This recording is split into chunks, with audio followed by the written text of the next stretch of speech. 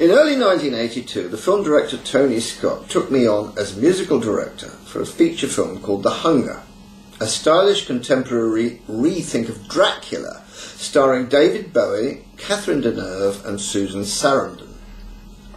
He had the interesting idea of constructing most of the score from classical music, but it had to be very carefully chosen to fit each scene, and I was given the job of finding it, which was a lot of fun. I started to go to his house in Wimbledon, often at 8am, with caseloads of recordings to play to him. Together we chose excerpts, and I would then re-record them with the finest musicians. Between them, Howard Shelley, Ralph Holmes, and Raphael Wallfisch played excerpts from Schubert's E-flat trio, Bach's solo cello partita in G, some Ravel, Le Gibet, and some Lalo. Tony wanted music for a strange erotic scene played between Deneuve and Sarandon, set in an Indian temple. The script suggested the soprano duettino from Lakme called Viens au Mallika and I found an old 50s recording of it.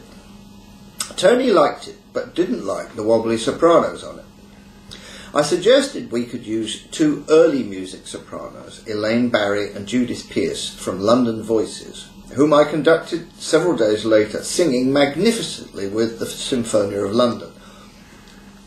On the same recording session, I improvised a piano version of the song and in the film we see Deneuve apparently playing it until sopranos and orchestra take over, cross-fading into the next scene. Tony loved this, and two years later he rang me again.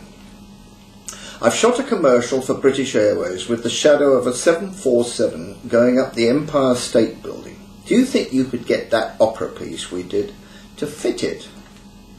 I'll have a look at it, I said. I arranged a special version and recorded with the same girls for a second time.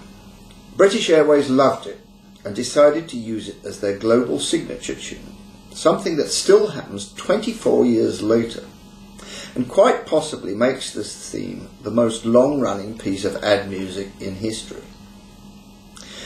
The incessant airplays of it at the same time caused it to be an all-time operatic hit, which sopranos all frequently perform and record.